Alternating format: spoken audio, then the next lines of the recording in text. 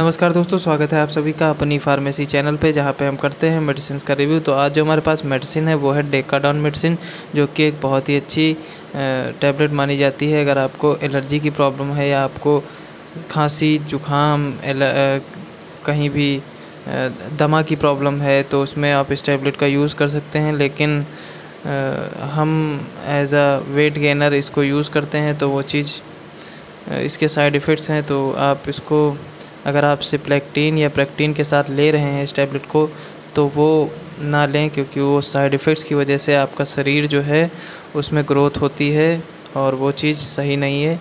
तो आप इस टैबलेट का use as an allergic condition में करें या आपको खांसी, जुकाम, बुखार या आपको बहुत ही ज़्यादा छींकें आ रही हैं तो आप इस टैबलेट का यूज़ करें। बहुत ही बेहतर दवाई है डेकाडॉन। तो ये थी इस टैबलेट के बारे में जानकारी। अगर आपको ये जानकारी पसंद आई हो तो हमारे चैनल को लाइक करें, शेयर करें, सब्सक्राइब करें। Thank you so much.